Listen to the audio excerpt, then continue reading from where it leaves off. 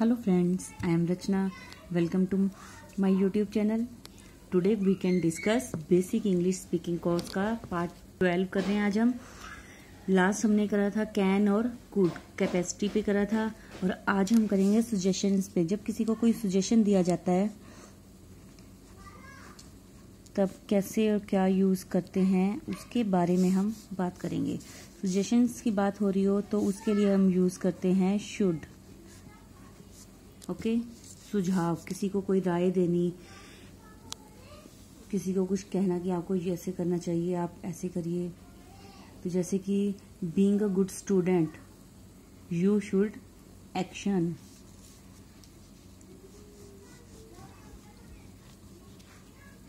should first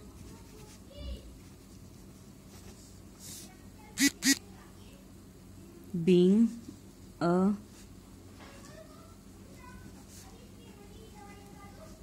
good student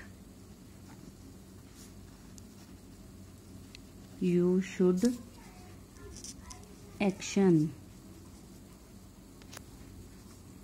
Second being a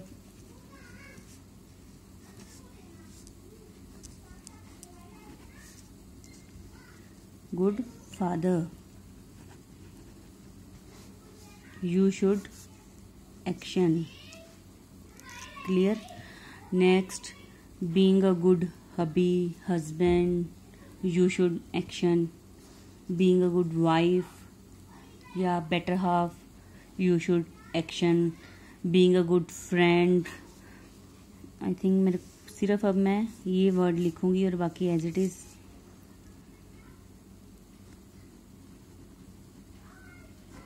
hubby या husband कुछ भी आप। बाकी as it is next again being a good wife आजकल वाइफ ही चल रहा है। और बेटर हाफ़ जिसको जो अच्छा लगे, वो वैसे ही यूज़ कर सकता है। आगे same as it is you should action number five being a good uh, friend baki as it is. Number 6 being a good citizen. Citizens.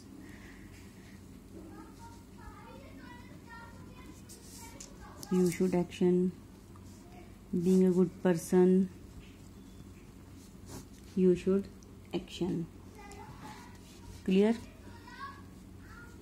किसी को कोई राय, सुझाव देना हो तो हम ये इस वे में यूज़ करके लाइन सेंटेंसेस बोल सकते हैं अपनी राय।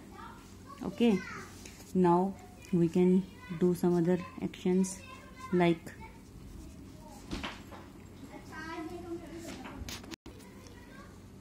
do you action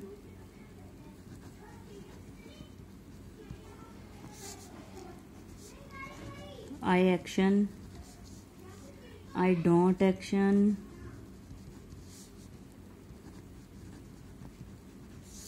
you should action.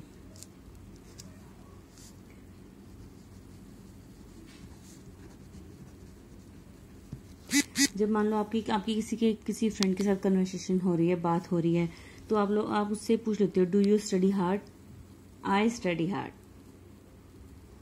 या आपका हो सकता है I don't study hard but you should study hard copy in exams do you copy in exams I copy in exams no I don't copy in exams you should copy in exam cheat others do you cheat others I cheat others. I don't cheat others. You should cheat others. I think clear हो रहे होंगे आप लोगों को ये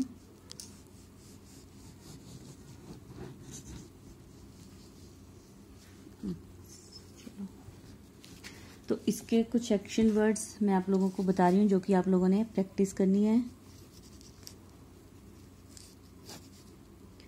first तो study hard second बोला था मैंने copy in exams third one is cheat others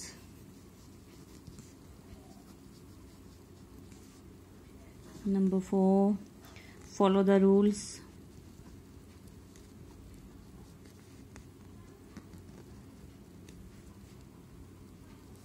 Number five break the law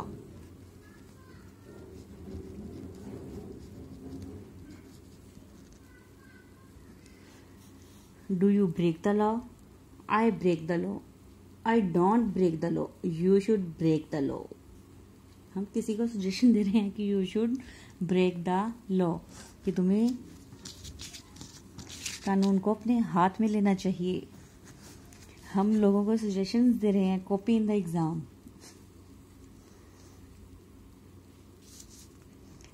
sorry चलो नेक्स्ट देखते हैं. हम्म, और क्या बताएँ अब आपको? Argue with his teacher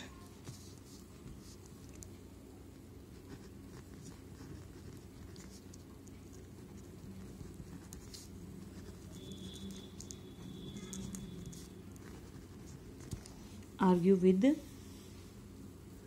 his teacher do you argue with his teacher i argue with his teacher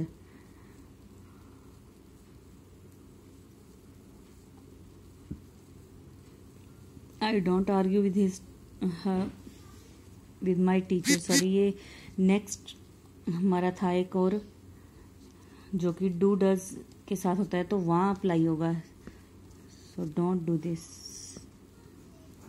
next क्या दिया जाए एक्शन वर्ड आप लोगों को अब?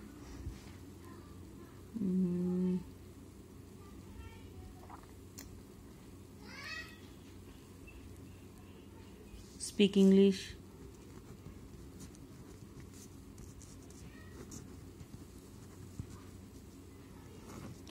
next next next face the problems